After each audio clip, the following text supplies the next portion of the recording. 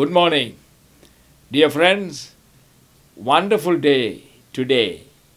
In God's faithfulness and mercy, He has extended our lives to this new day, that we may live and glorify His name.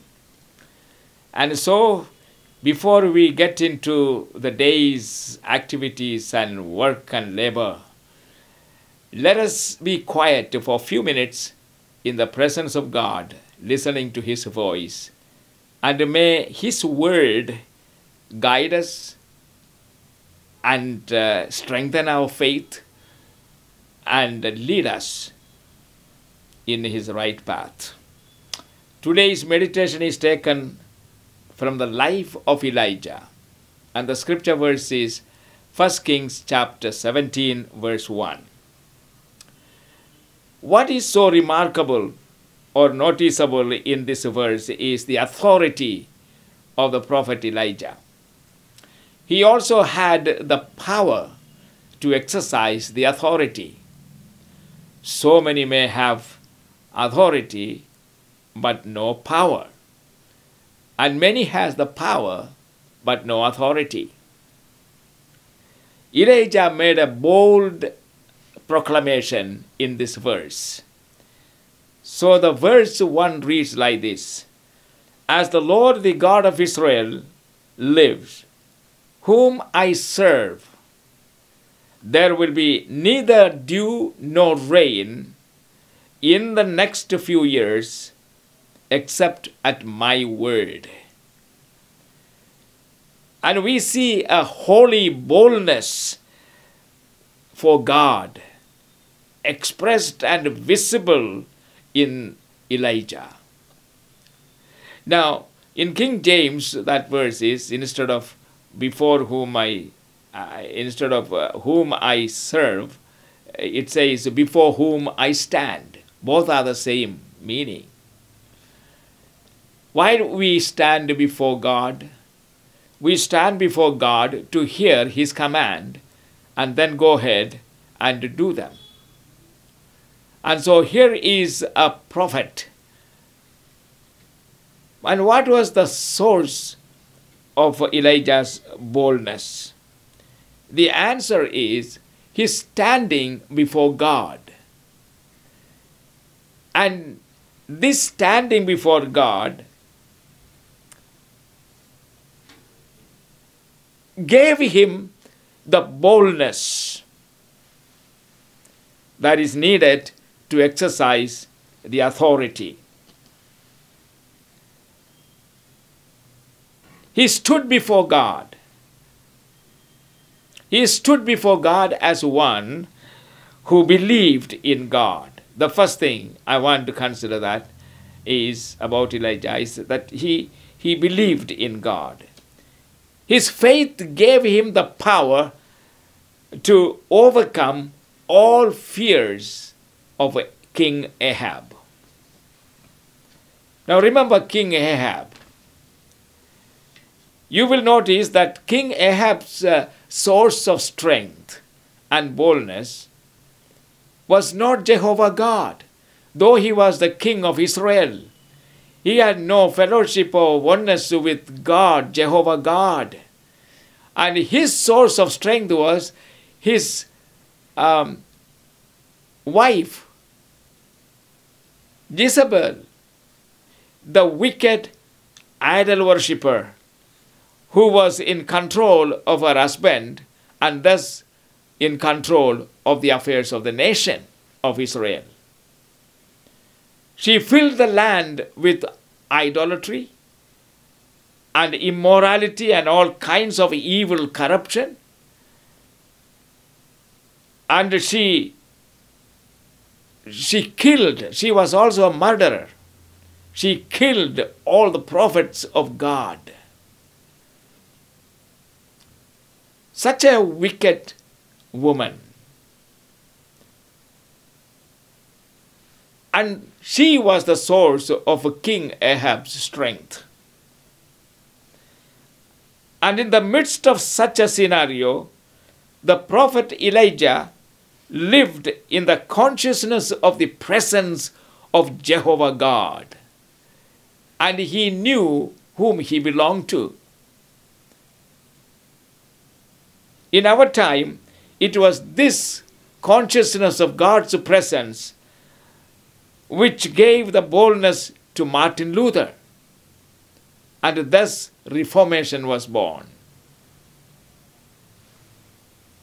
And it was this consciousness of God's presence which emboldened Apostle Paul in Acts chapter 27, verse 23.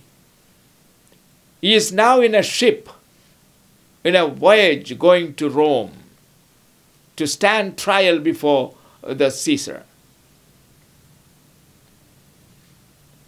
And such a deadly storm hit the ship that Paul said even he despaired of his own life. He thought he was also going to perish. And that, when he, when, when he began to feel that fear, there in verse 23 of chapter 27 of Acts says, An angel of the Lord whom I am, and whom I serve. Look at the same confidence and boldness of Elijah is now seen in Apostle Paul to declare, Before whom I, I am, I stand, and before uh, whom and, and whom I serve, stood beside me and said to me, Do not be afraid, Paul because you are not going to perish here. You will safely reach Rome, and I am giving into your hand all 279 passengers. Their souls are in your hand. And then we know what he did. He strengthened others, encouraged others, and he gave that guidance because initially the captain and the owner of the ship refused to listen to Paul, who wisely advised not to move from one port because such a deadly storm will destroy the ship and probably many lives. And that is the way people of God are treated even today. What do they say? People laugh at. And yet, when things begin to happen according to the word of men and women of God, then people begin to think the validity of the God in whom we have our trust and our faith. And secondly, he offered himself to God. He believed in God and then he offered himself to God and he was accepted by God. Elijah was a channel through whom the word of the Lord might come to the hearts of a wicked people, through whom the power of God might be manifested.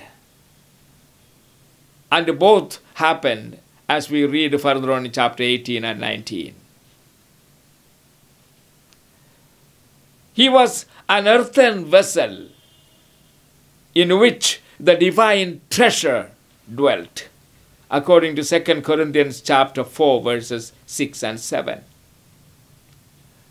We who trust in Jesus and follow Jesus, doing His will, we are like earthen vessels. We are as weak as an earthen vessel, easily breakable. And yet, in this weak vessels, there is a treasure, a, a heavenly treasure. What is that? The gospel, the treasure of the gospel of Jesus Christ, the life changing, life transforming power of the gospel of Jesus Christ. And that is what makes us bold. And so, uh, Elijah means he, he, was an earthen vessel. And the third thing is, who had a close fellowship with God.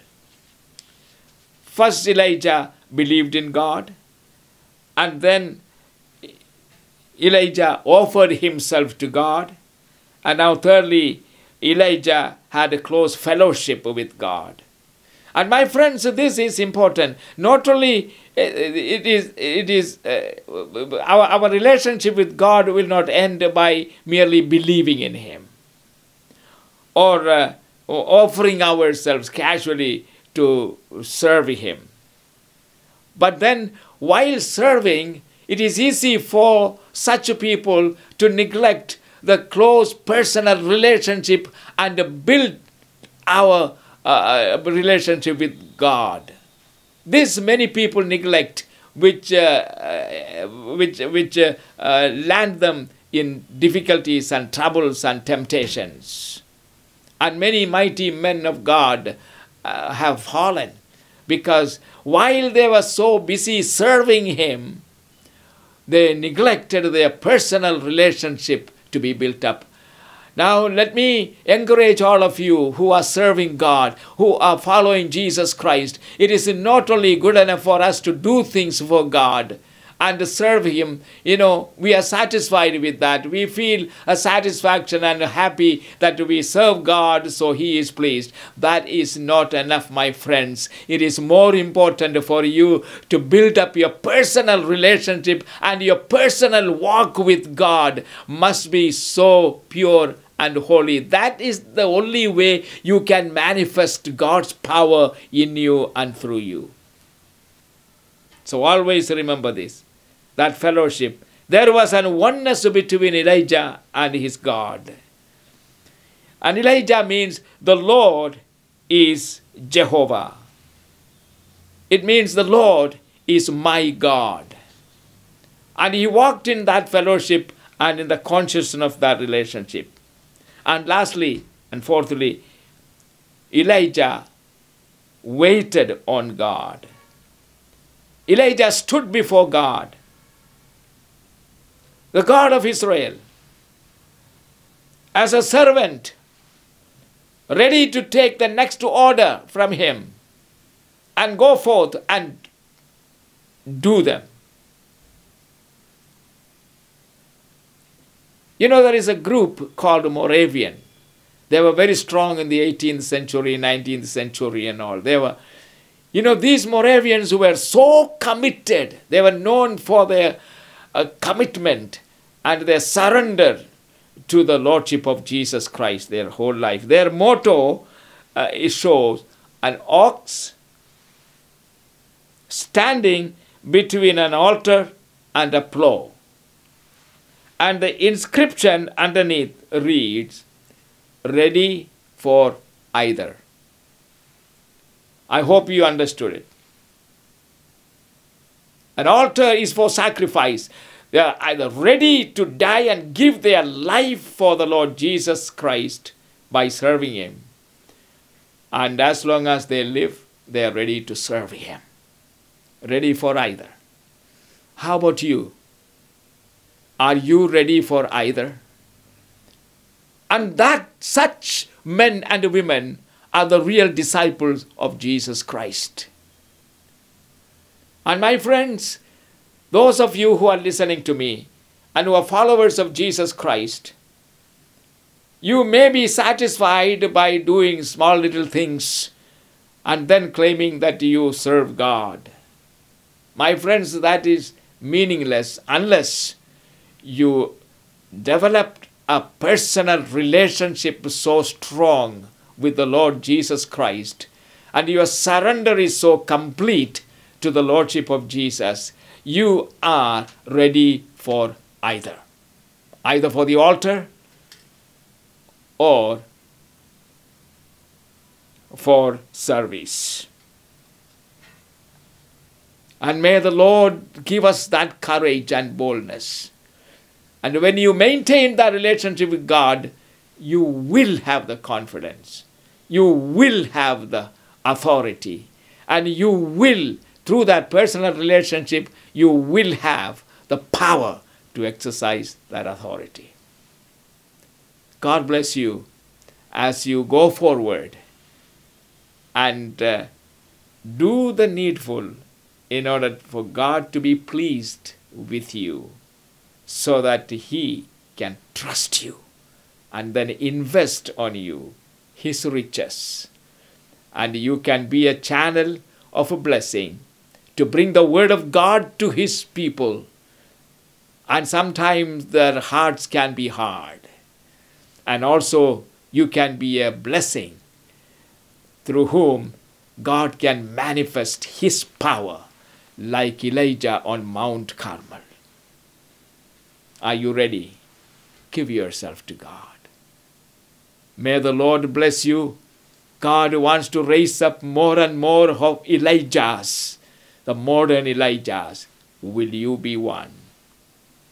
There are many Ahabs and Jezebels trying to destroy the prophets of God. And you must be able to stand before such people and declare boldly until I speak again. There will be raw rain. The Lord bless you and use you. Amen.